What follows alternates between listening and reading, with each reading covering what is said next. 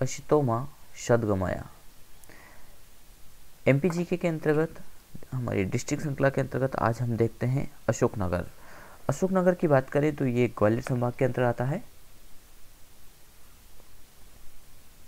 अभी हमारी ग्वालियर संभाग श्रृंखला चल रही है और इसमें कई क्वेश्चन जो है कि अशोकनगर से भी पूछे जाते हैं। अशोकनगर की बात करें तो अशोकनगर गुना से अलग करके बनाया गया है। यानी पहले ये गुना डिस्ट्रिक्ट था और जिसके बाद इसको अशोकनगर एक अलग ज़िला बनाया गया। इसके सीमावर्ती ज़िले की बात करें तो इसके अंतर्गत शिवपुरी है, इधर गुना है और इधर विदिशा है, इधर सागर है। साथ ही साथ ये उत्तर प्रदेश का सीमावर्ती जिला भी है। और संभागीय क्षेत्र की बात करें तो ग्वालियर संभाग के अंतर्गत ये आता है। चलिए इसका हम पूरा मैप देखते हैं। तो ये अशोकनगर है, जिसमें, जिसका कुछ क्षेत्र ये शिवपुरी से लगा हुआ है। इसके बाद ये इधर सीमावर्ती जिला है उत्तर प्रदेश का। इधर इसका क्षेत्र गुना से लगा हुआ है, इधर विदिशा से इसका लगा हुआ है, और इधर लगा हुआ है सागर से। तो इस प्रकार से इसके सीमावर्ती ज़िले की बात करें तो शिवपुरी, गुना, विदिशा और सागर ये हो गए हैं। और सीमावर्ती जिला भी है ये। तो उत्तर प्रदेश की सीमा इधर इस क्षेत्र में लगती है इसकी। चंदेरी तहसील आता है जो उत्तर प्रदेश है, साथ ही साथ मुंगाली भी उत्तर प्रदेश की सीमा से लगता है। तो ये क्षेत्र जो है कि इसका दो तहसीलें इसकी उत्तर प्रदेश का सीमावर्ती है, क्षेत्र है।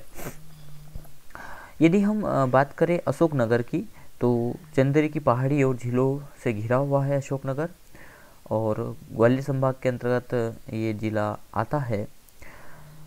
अशोकनगर सिंधी और बैतवा नदी के बीच मध्य प्रदेश के उत्तरी भाग में स्थित है और वर्तमान जो ज़िला है, इसका जो अस्तित्व आया है, ये 15 अगस्त 2003 को गुना ज़िले से पृथक करके बनाया गया नया ज़िला बना ये 2003 में।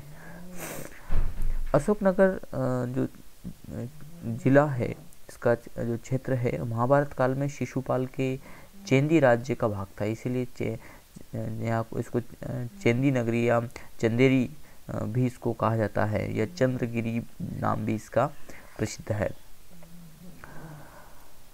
साथ ही साथ जनपद काल में जो चेंदी जनपद था ये मध्ययुगीय काल में चंदेरी राज्य का एक भाग था और इसे चंदेरी के नाम से जाना जाता था।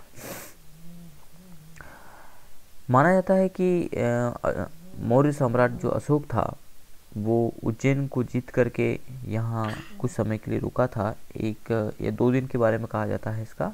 और इसीलिए इसका नाम बाद में अशोकनगर पड़ा। अशोक के नाम पर नहीं तो ये चंदेरी के नाम से, चेंदी राज्य के का भाग था। इसलिए इसको चंदेरी के नाम से जाना जाता था। बाद में इसका नाम परिवर्तित होकर के अशोकनगर हो गया। प्रतिहार वर्ष के राजा कीर्तिपाल ने दसवीं और ग्यारहवीं शताब्दी में चंदेरी नगर की स्थापना की तथा अपनी राजधानी भी इसको बनाया था। अशोकनगर देश भर में अपनी अनाज मंडी और सरबती गेहूँ के लिए भी ये प्रसिद्ध है तो ये भी क्वेश्चन पूछा जा सकता है।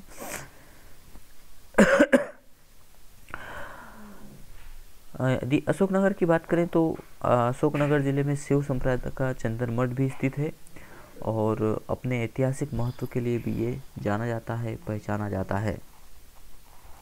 माना जाता है कि चंदेरी के किले में बने जौहर कुंड में बाबर के आक्रमण के समय 800 राजपूत रानियों ने प्रज्वलित अग्निकुंड में जल का भस्म किया था या जौहर किया था।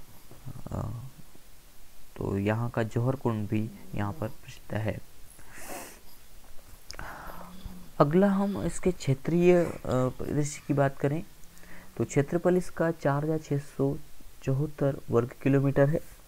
जनसंख्या की बात करें तो आठ लाख पैंतालीस हज़ार इकहत्तर, यहाँ की जनसंख्या है 2011 की जनगणना के अनुसार। लिंगानुपात की बात करें तो नौ सौ चार, यहाँ का लिंगानुपात है प्रति पुरुष के प्रति एक हज़ार पुरुष की संख्या में। साक्षरता प्रतिशत की बात करें तो सिक्सटी सिक्स पॉइंट फोर प्रतिशत यहाँ का साक्षरता दर है। साक्षरता पुरुष की बात करें तो सेवेंटी एट पॉइंट वन यहाँ का साक्षरता पुरुष है। महिला साक्षरता की बात करें तो फिफ्टी थ्री पॉइंट फोर महिला साक्षरकार साक्षरता है। नगरीय निकाय की बात करें तो एटीन पॉइंट टू यानी अठारह दशमलव दो नगरीय निकाय है। नगरीय क्षेत्रफल कम है। यहाँ का ग्रामीण क्षेत्र यहाँ पे ज़्यादा बसा हुआ है और वो है एटी वन पॉइंट एट यहाँ का ग्रामीण क्षेत्र है। प्रमुख तहसीलों की बात करें तो खुद अशोकनगर ये क्षेत्र हम ये भी देख लेते हैं मैप में, ये अशोकनगर का सा है अशोकनगर तहसील। ईशागढ़, ये ईशागढ़ है। मंगालिया, मंगोलिया है। चंदेरी, सड़ोन और नई सराय इसमें छिप गया है ऊपर। तो ये प्रमुख यहाँ की तहसीलें हैं। तहसीलों के बाद हम विकास खंड की यदि बात करें विकास खंड थोड़ा सा छिप गया है इसमें, हम निकाल लेते हैं इसको। विकास खंड में अशोकनगर, ईशागढ़, मुंगावली, चंदेरी, ये यहाँ के विकास खंड है। धार्मिक स्थल की बात करें तो कदवाया मंदिर यहाँ का प्रसिद्ध है, करीला माता मंदिर प्रसिद्ध है विजयाशन मंदिर यहाँ का प्रसिद्ध मंदिर है और जैन मंदिर, यहाँ के प्रसिद्ध मंदिर है।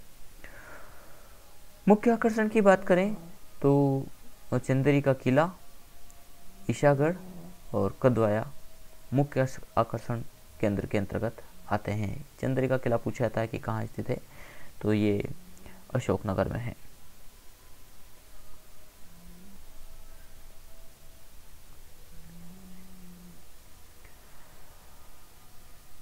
कदवाया, यदि हम कदवाया की बात करें तो ज़िले का एक छोटा सा गाँव है कदवाया, जहाँ पर प्राचीन शिव मंदिर गढ़ी यहाँ पर है और बीजासन माता का मंदिर तथा, चंदेल मठ के लिए ये जाना जाता है अपने आप में। इसके बाद ईशागढ़ की बात करें तो अशोक अशोकनगर ज़िले की तहसील मुख्यालय ईसागढ़ है और अपने ऐतिहासिक महत्व तथा कदवाया गाँव में अनेक मंदिरों के लिए ये जाना जाता है। तो ये तहसील क्षेत्र के अंदर आता है। इसके बाद हम बात करें चंदेरी। तो चंदेरी अपनी साड़ी उद्योग तथा किले के लिए जाना जाता है। चंदेरी का किला और चंदेरी साड़ियाँ भी देश विदेश में प्रसिद्ध है और कहा जाता है कि चांदी के तारों की यहाँ पर बनावट या मड़ी जड़ी जाती है, इसलिए ये प्रसिद्ध है। बेतवा नदी के किनारे स्थित ये चंद्री किला किले का जो निर्माण है, वो प्रतिहार नरेश कीर्तिपाल ने ग्यारहवीं सदी में करवाया था। इसकी बात अभी हमने की थी। इसी किले में जौहर कुंड हवा महल, नौखंड महल आदि स्थल भी है और किले का जो मुख्य द्वार है, वो खूनी दरवाजे के नाम से जाना जाता है क्योंकि यहाँ पर जोहर किया था राजपूत रानियों ने।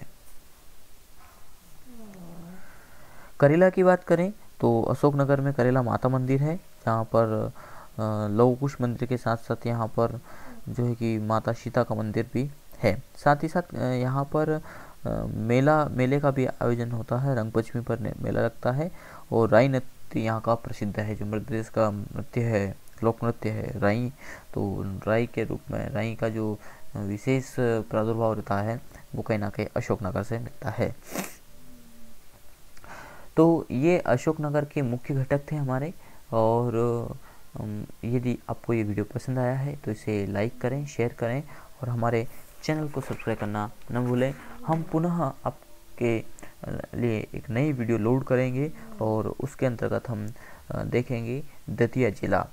दतिया भी अपने आप में काफ़ी वर्चस्व में है तो कई तरीके से कुछ क्वेश्चंस यहाँ पर पूछे जाते हैं क्षेत्रफल के, साथ ही साथ यहाँ के मत, महत्वपूर्ण आकर्षण स्थल के तो वो सब हम अगले वीडियो में आप के लिए यहाँ पर प्रस्तुत करेंगे या अपलोड करेंगे। धन्यवाद।